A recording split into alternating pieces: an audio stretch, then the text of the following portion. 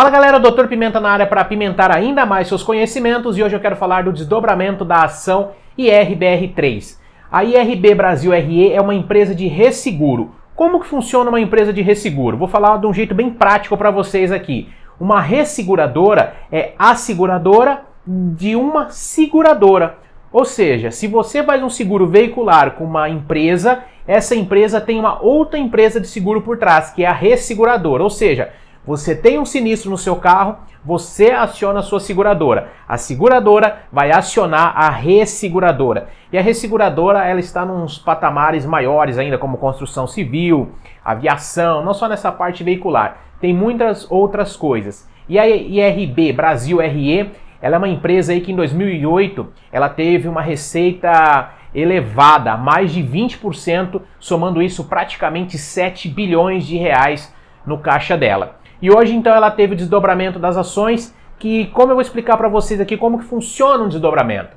Digamos que uma empresa tem 100 milhões de ações valendo 10 reais. Então ela tem um valor em, em ações de 1 bilhão de reais. Se ela fizer um desdobramento de 10 para 1, ela vai passar a ter 1 bilhão de ação custando um real. Ou seja, em valor de mercado em ações, ela vai ter o mesmo 1 bilhão de real. Porém, o que, que acontece? Quando você faz um desdobramento, quando acontece um desdobramento de ação, isso faz com que o papel tenha maior liquidez. Por quê? No caso desse de 10 para 1, se você tem 100 milhões de ações, você tem 100 milhões de papel. Se você faz o 10 para 1, nesse caso que eu citei, você passa a ter 1 bilhão de papel. Isso proporciona com que os pequenos acionistas entrem no papel e sendo assim vai ter mais venda e vai ter mais compra. É onde ocorre aí uma maior liquidez e facilita, como eu disse, aí, o pequeno investidor que, que, que quer comprar ação dessa companhia. No caso, a ação IRBR3 que eu estou falando aqui no vídeo hoje, porque ela vai ter um valor mais acessível. Até a pessoa que não tem grana para comprar o lote de 100 ações vai comprar o lote fracionário. Mas imagine que a ação custe, no caso, 100 reais e hoje ela está custando 30 reais, um exemplo. E você é uma pessoa que tem grana para comprar no fracionário. Se você de repente tinha. É, hoje está custando 33 e 33, né? Melhor dizendo aí na conta, para poder arredondar praticamente os 100 reais no desdobramento simbólico que eu estou fazendo aqui. Então, se você tinha 80 reais, você não conseguiria comprar uma ação fracionada. Mas agora com 80 reais você consegue comprar duas ações fracionadas de uma determinada empresa e ainda sobra dinheiro dentro da corretora para você aportar futuramente. Então, desdobramento é muito bom mas tem pessoas que acham que o desdobramento vai fazer as ações decolarem.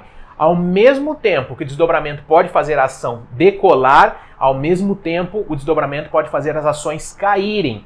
Por quê? Porque se você, um exemplo, tivesse ações da IRBR3 antes do desdobramento, ficasse sabendo do assunto do desdobramento e tivesse ela antes de ficar sabendo desse assunto, é até meio complexo ficou falando aqui no vídeo, tá? Eu vou até tentar facilitar para vocês. Vamos supor que você tinha um lote de 100 ações antes do desdobramento, mas você tinha comprado porque você acredita na empresa.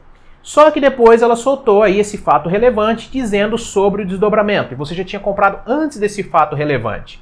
Aí você fez o que? Segurou as ações para esperar o desdobramento. O que, que acontece? Talvez quando ela desdobra, ela vai ter aí um efeito foguete, certo? Para você, digamos, gerar lucro, porque ela desdobrou, ficou valor menor, mais gente está comprando. E sendo assim, você ficou com mais ações, mais gente comprando, o que você vai fazer? Vai efetuar aí o seu lucro, vai vender. Então, se tiver muita gente pensando assim, o que, que acontece? Quem tinha antes do desdobramento, desdobrou, a galera começou a comprar, vira que o lucro aumentou perante o valor que você tinha. Digamos que você tinha aí uma simulação também, tá? mil reais investido, certo? E aí o que, que acontece? Quando ela, quando ela desdobrou, antes dela desdobrar, aliás, você tinha um lucro de aproximadamente 100 reais. Então você tinha 1.100. Mil que você investiu e 100 de lucro. Quando ela desdobrou, o seu lucro pra, passou de repente para 1.200, numa conta meio rápida aqui. O que, que você fez? Você vai lá e vende para poder aí morder essa fatia de 200 reais, o seu lucro de aproximadamente 20% aí de mil reais, certo? Estou falando assim conta redonda para vocês poderem entender. Aí imagina que milhões de acionistas pensam isso, os big players, que são os acionistas grandes, também pensam isso. O que, que eles vão fazer? Vão lá e vão também efetivar a venda. Isso vai fazer com que o papel comece a ter muita venda e automaticamente o preço vai despencar.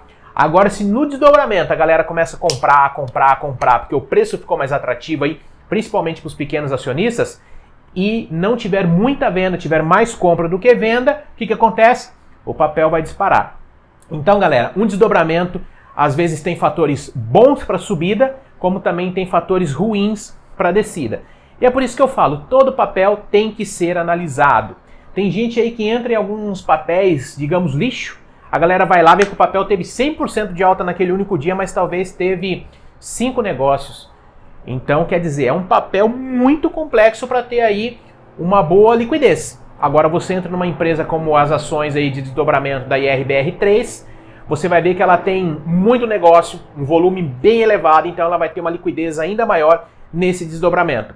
Mas estude a empresa, veja sua gestão, veja como ela está no mercado, Veja se ela não está em recuperação judicial, que foi o caso da Saraiva, principalmente a SLED 3.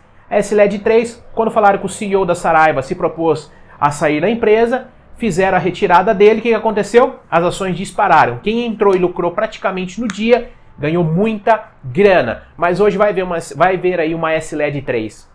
Você vai olhar lá, o volume de negócios é mínimo, então a liquidez praticamente foi eliminada desse papel. Então, galera, estude bem, conta para mim aqui nos comentários o que você achou do desdobramento da IRBR3.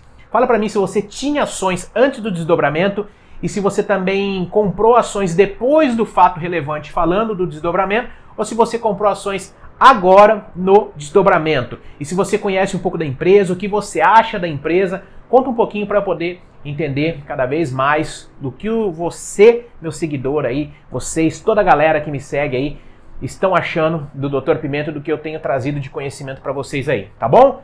Conta logo aí, não se esqueça de se inscrever no nosso canal, já ative as notificações, curta, compartilhe e favorite muito, sempre, todas as nossas redes sociais. Um super beijo e até o próximo!